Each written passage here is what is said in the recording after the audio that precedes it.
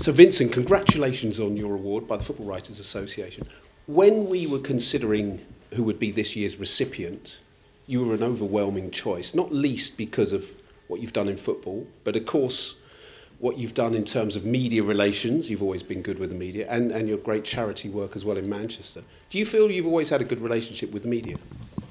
I, I think I have a stable relationship with the media, so I've never really taken offense to, you know, I understand that uh, I distance myself from hype and drama, so it's made my relationship healthy. And I think when you get to know me over years, you know what I do and what I don't. Um, what I do is if I have to be available, I'm available, and instead of doing 15 minutes, I'll do half an hour, maybe an hour. If, if you know, if to to to people I've known for maybe a bit longer. Uh, what I don't do is, you know, get out of my way to try and people please and, you know, make everybody happy. You know, I, I just try and stick to something that people can relate to. And in the end, I just try and treat everyone with respect. And I feel I've always been treated with respect because of it. And when you look through the list of winners of this award in the past, it's, it's some of the great names in, in British football. How does that make you feel? It's, it's difficult for me to, to grasp, you know, because it's the, these names are people I looked up to when I was a kid. I never even saw myself being mentioned in the same breath. I was just, you know, okay, this is a role model. I'm just going to do my own thing. Um, and, and, you know, just uh, some of these people you, you adore as a kid. So to be amongst these names, it's something very special, something unique. And um, and yeah, it's it's when I see my dad's reaction that I really that makes me proud. Yeah. And when you arrived at Manchester City, did you have any idea what was to follow? Because it's a very different club now to what it was then. no way, it's impossible. I mean, I signed at City, and my first press conference was uh, at the local rugby, rugby club's pub because they had a bit more space for the press conference, and um, I was trying to put the boxing gloves on to do a bit of a cardio session. And we only had one glove. I'm not saying it was that you know they were paying good wages and stuff but in terms of everything around surrounding the club trying to you know the standards uh, we've come a long way with with with very similar people that just raise the standards um, but you couldn't have imagined it at the start and of course, this year Liverpool seem to be running away with it, but City aren't going to let it go, are they? Six-one win- winners tonight. Another Sergio Aguero hat trick. He's now he's breaking records as well. Can City still really push Liverpool all the way?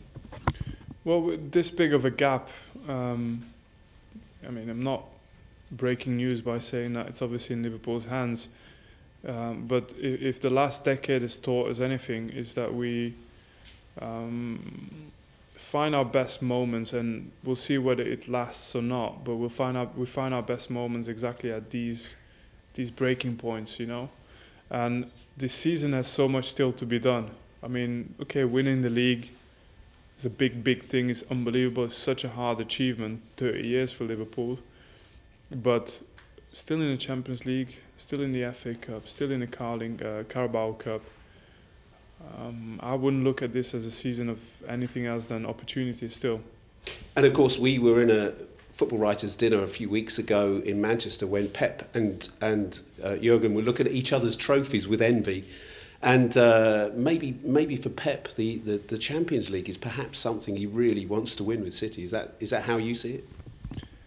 Yeah, it's it's not just Pep; it's the whole club. The it, it's it's part of the evolution as well of City. I mean, when I was in at City, I can comfortably say for the first eight eight years, it wasn't really as big as a priority as it was for other clubs in Europe. We wanted to win the Premier League. We wanted to win it again. We wanted to win the FA Cup, and and I can't quite explain it. It was just that English Manchester kind of thing. We want to we want to beat United or we want to beat Liverpool. And in recent years, though, it's it's changed. I, I think now the club is desperately hungry for the Champions League. And if I've learned anything about cities, uh, whenever they set themselves a target, um, they are capable of, of achieving it. So do you think this year it's possible? I wouldn't, I wouldn't, I wouldn't bet a pound against it.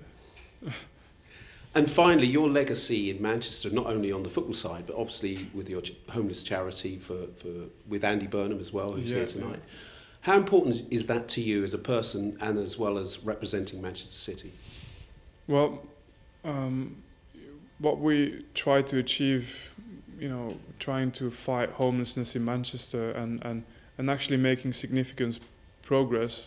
There's always still a long path or journey to follow, but um, it wasn't just myself or it wasn't just uh, the mayor, Andy Burnham, it was also, you know, my wife, Carla, and a, a whole bunch of people being involved in trying to to do some good, but um, I wanted to do this not just for Manchester, but also for my kids who are born in Manchester, born and bred in Manchester, and, and I don't think it was. I didn't feel like I could leave that place that had given me so much without uh, doing everything I could to to contribute, and I'm going to keep doing so. And, and just one moment, if you could relive that moment from your career, would it be the goal against Leicester? Would it be the first trophy lift? What the Aguero Mm. moment? What would be the one that you could run over time and time again?